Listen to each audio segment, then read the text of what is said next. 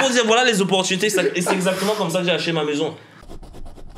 Une différence entre le crédit personnel et le crédit entreprise. Et le fait d'associer les deux, ça donne un effet de levier euh, euh, assez puissant. Mais également, pour compléter ce qu'Anthony dit, c'est c'est un- c'est important de savoir comment le bureau de crédit fonctionne.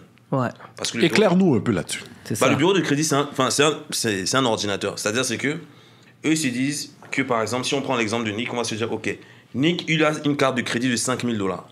OK Si Nick utilise 2500 dollars sur son 5000, il a un taux d'utilisation de 50%.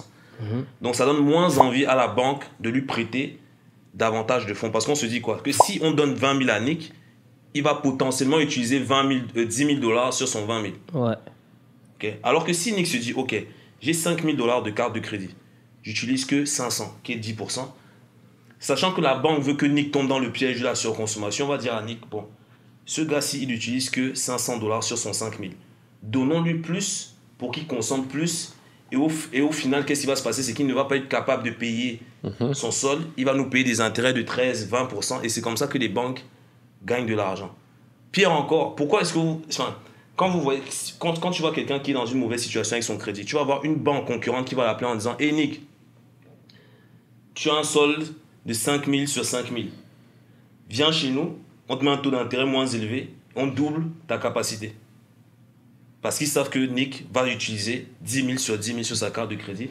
Après, il va être en faillite, on va venir saisir sa, maison et sa voiture, et c'est comme ça que les banques vont gagner de l'argent. Comment hacker le système? C'est qu'il faut faire croire au bureau de crédit que, bah, en fait, tu ne vas pas consommer. Donc, tu utilises très peu, ils vont vouloir te donner encore plus.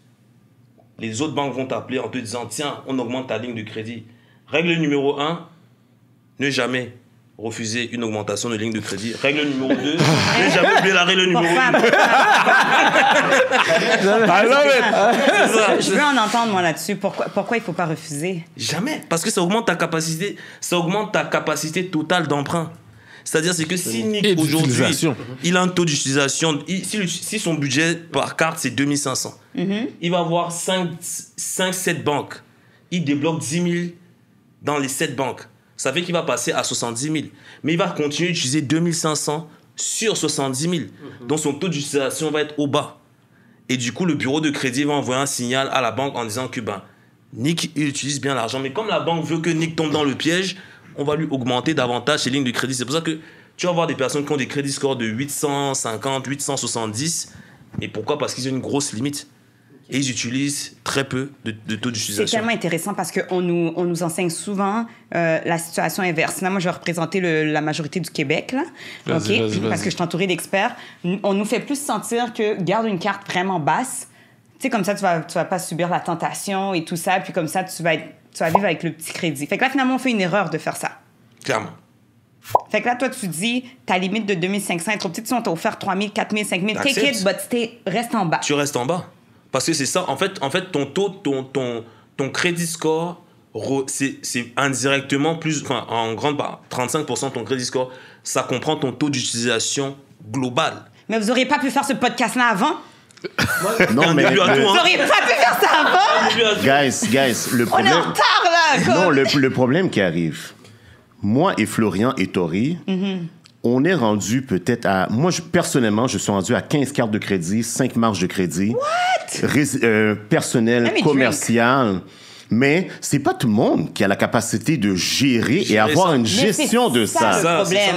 Moi, mes cartes, tous mes cartes sont à zéro, à part une carte que je mets de l'essence. Mais c'est parce que nous, nous avons d'autres projets. Et je pense que ça va peut-être être un autre sujet qu'on va venir avec ça. Mais j'appelle ça un effet levier. Quelle magnifique stratégie. Je donne, je donne juste un exemple. fait levier. Je donne juste un exemple. Ouais. Il a accès à tant de crédit. Moi également, j'ai accès à tant de crédit. En tant qu'entrepreneur investisseur, je vous donne juste un exemple.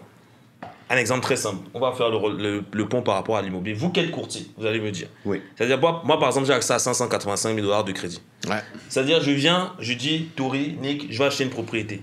On fait l'offre d'achat. Même si, le- on va dire, le building est à 600 000, un triplex 600 000, j'ai mis 60 000 de mise de fonds. On dit, OK, mise de fonds 10%. Si je vous fais une capture d'écran de mon compte où j'ai retiré toutes mes marges, je mets 585 000 dollars sur mon compte de chèque, capture d'écran, on envoie au vendeur, il va prendre le deal ou pas? Il va accepter le deal ou pas? Et c'est exactement comme ça que j'ai acheté ma maison.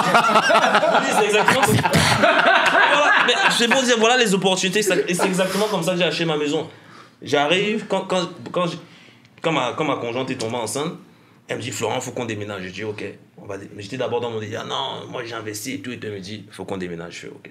Je vais visiter une maison. Femme, hein? 5% Happy wife, de mise de fonds. Comme tout le monde, on était 16. On m'a dit, monsieur, la porte c'est par là. J'ai dit, ok. J'ai dit, on va...